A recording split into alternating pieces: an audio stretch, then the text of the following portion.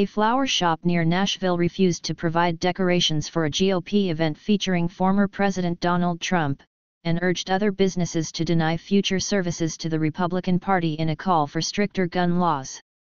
Owners of the FLWR shop in Belle Meade, Tennessee, said they immediately declined service for the upcoming Republican National Committee, RNC, fundraiser and encouraged others in the Nashville event industry to say no to taking money or jobs from the Republican Party until they begin to make the changes to gun laws that most Americans are calling for.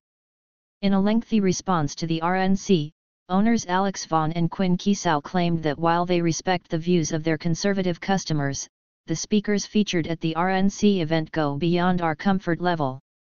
The lineup of GOP speakers includes Trump, former Vice President Mike Pence, Sen. Marsha Blackburn, R10, and Gov. Brian Kemp of Georgia. At this moment, I cannot ignore the work the RNC has done to create this tragedy and so many others like it, the FLWR shop said referring to the March shooting at the Christian Covenant School. The business posted its response to the RNC's request on social media Monday, claiming that the Republican Party makes this problem worse, like the recent changes to gun laws here in Tennessee.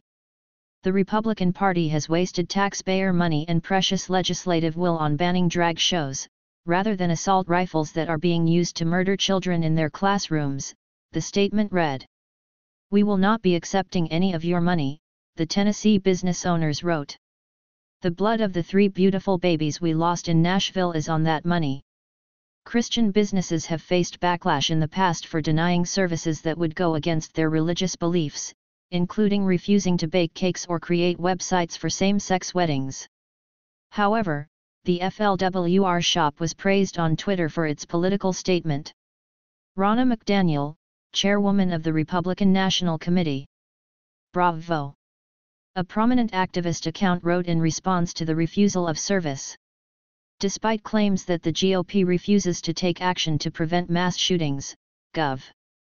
Bill Lee, R10, signed an executive order Wednesday to ensure a more extensive, up-to-date background check process for the purchase of firearms in the state. I'm asking the TN legislature to pursue a new order of protection law to separate dangerous individuals from firearms, while preserving constitutional rights, Lee wrote in a Twitter post.